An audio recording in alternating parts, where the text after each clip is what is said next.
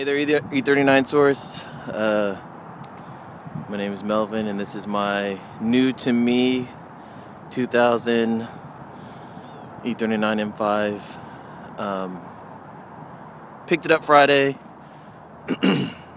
and am in totally in love with this car.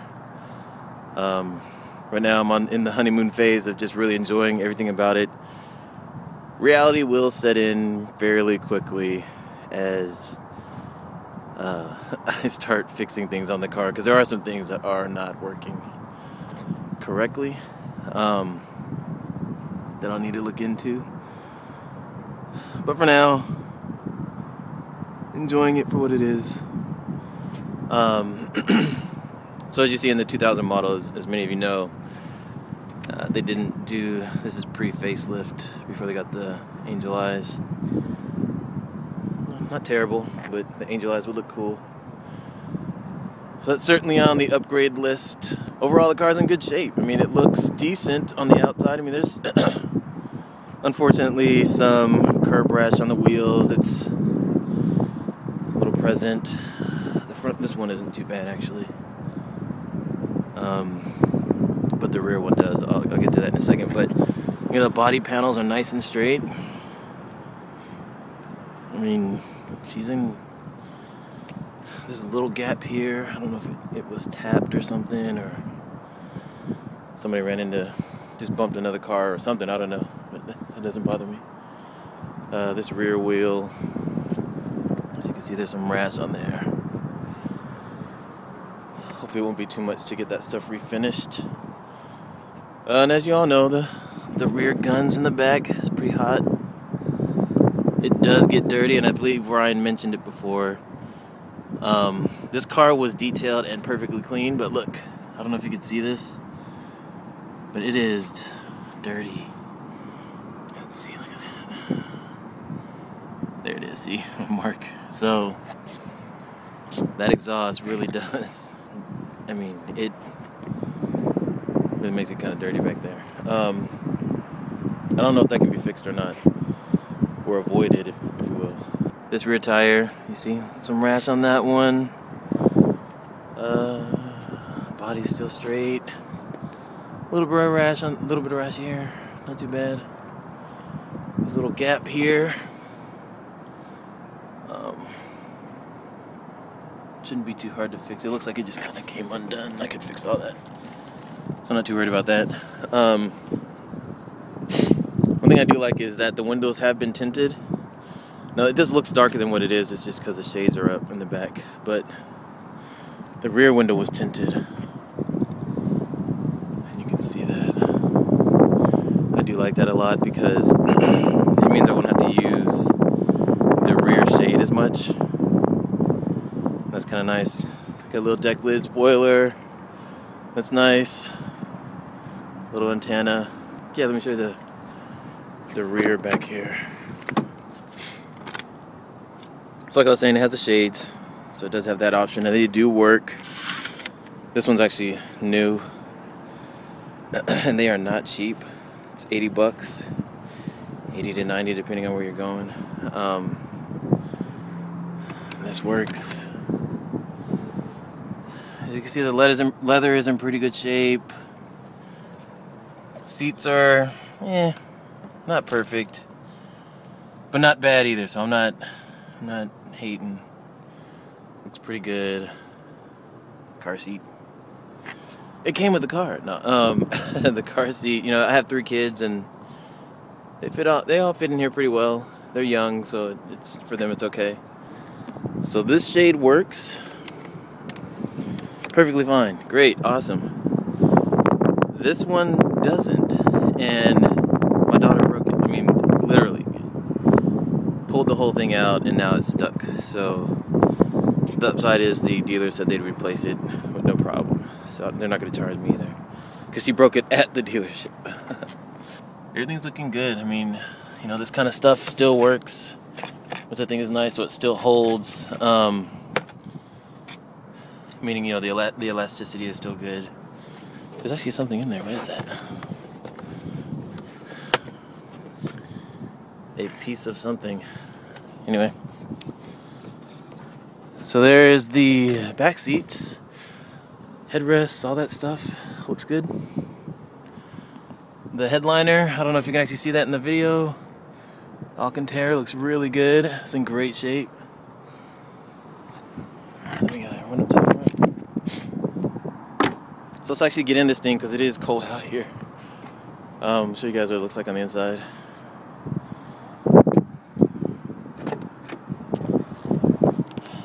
So, oh yeah, it's better. So inside, it's in good shape. Oh, maybe if I should film the car, not the wall. Here we go. So, I've got the wood interior. I don't like it. It's not bad. It just the wood just doesn't scream sporty, you know. So that I'm going to replace. I may not buy a full kit because it is expensive. You're looking at between 900 to $1,000 to replace all the wood in here. But there's a guy on Beamer, for, Beamer forums that uh, uh, wraps all the stuff in a vinyl, and the vinyl wrap that he uses looks really nice. And it's about 200 bucks shipped, the whole thing, and he'll do it in a, in a day.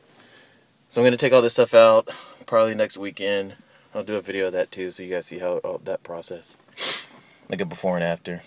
Steering wheel, as you can see, looks good. You know, all the buttons look nice. There's no wear on them really. They almost look like they were either replaced or they just didn't get a lot of use. Is that focusing? There we go. There we go. Yeah. So it looks good.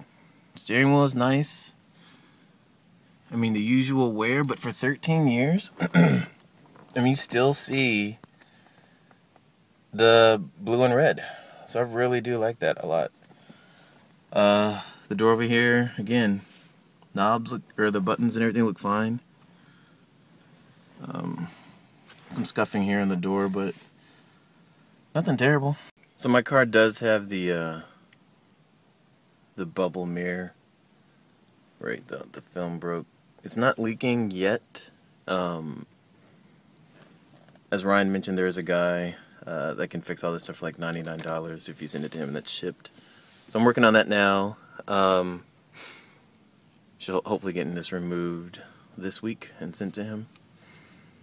Um, what else? What else to know? Uh, the clutch. So, oh, let me just talk about things that are wrong, real quick. So, uh, you guys all know about the car. It's great. Um, but there are problems. My e-brake, my parking brake, does not work. Check this out. What?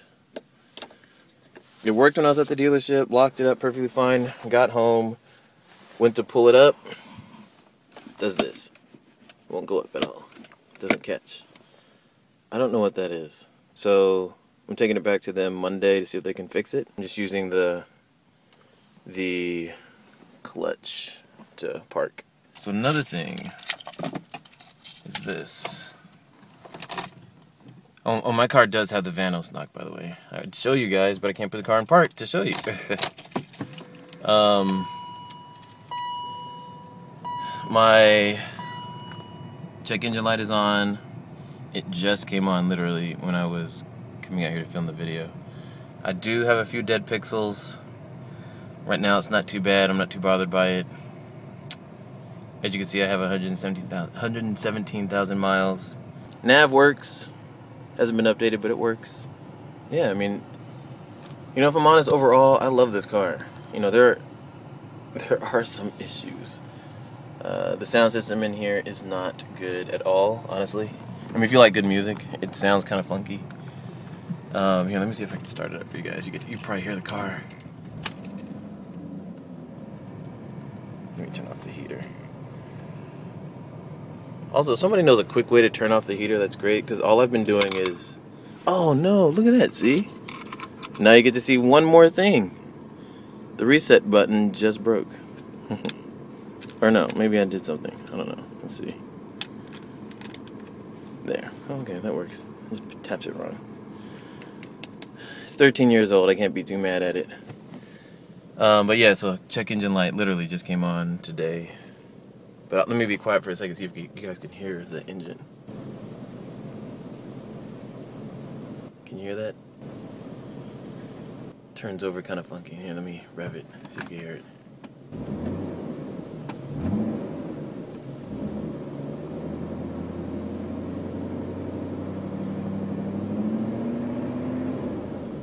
Sounds like a diesel. It's kind of crazy.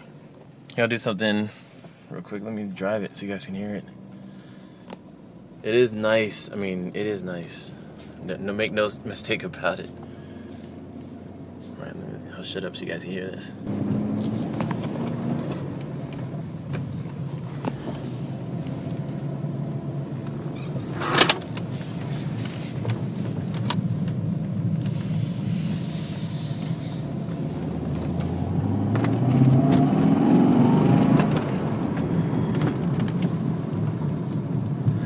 So she sounds great. One of the things I've noticed, it sounds like something something is flapping when I accelerate. It's kind of weird, like like a something. Anyway, I'm going to the dealership today or tomorrow to get it figured out. But um, yeah, it's just, it's just little things here and there that I know are going to cost me a grip. But I bought the car knowing those were issues um, that I'd have to face in owning an M5. So if you're ever considering it, just know what you're walking into. Beyond the car looking amazing, your insurance is going to be ridiculous.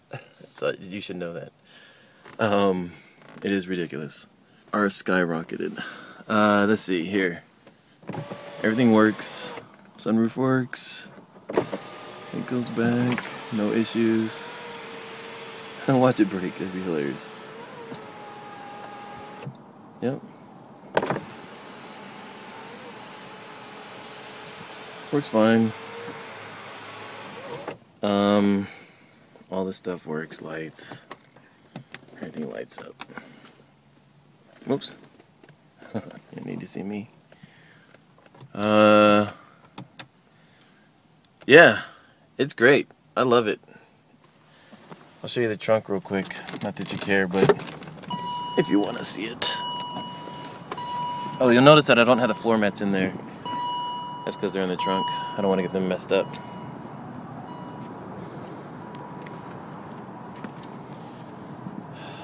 So there go the mats. Target bag. Navigation system over there and CD. Um, something's over there, I can't remember. Had to buy some oil and just to have it on tap. If you drive this car, get oil. Eh, don't pretend that you're not going to drive hard. You're, everybody hoons it up in this car. Everybody. You'll need oil. It eats oil when you gun it. Not all the tools are there, unfortunately. So I got to replace a lot of these. They're kind of hard to find and expensive to get.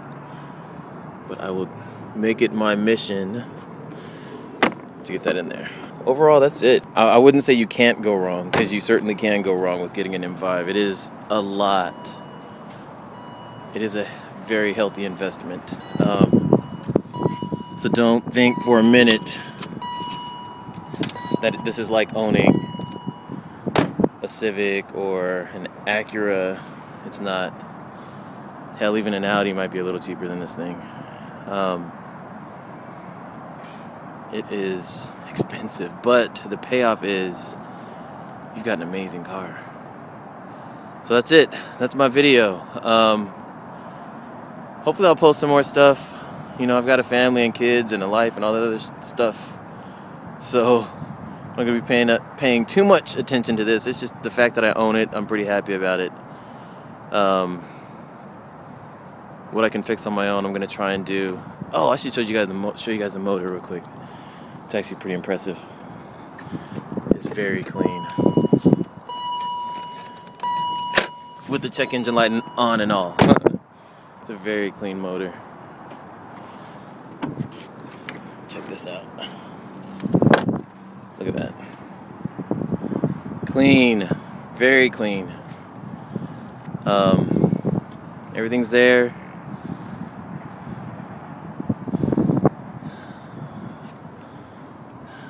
Don't know what that is. If somebody knows or has seen this before, let me know. They put tape over here. It looks like there was a screw or something. I don't know. I'm not sure what was going on there. I'll find out today at the dealership. Um, but everything seems legit. It doesn't leak oil. Power steering, I've noticed it's squealing, so I don't know if that's either the fluid or if it's going bad. And I'm hoping it's the fluid, which I think this is. I don't know, I have to look. But it may very well be just the fluid. Or in this car, with my luck, it is the whole thing, the whole column. But yeah, no, it's clean. I mean, that's pretty impressive. So, yeah, there's the car. In, in all her might.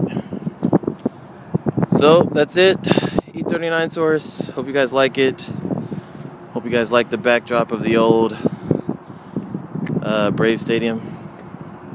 And if you're in Atlanta, you know, leave a comment and you have an M5 and want to meet up, or you don't and you want to just see the car.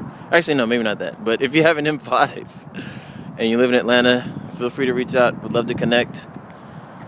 Um, yeah, that's it. Thanks, everybody. Bye.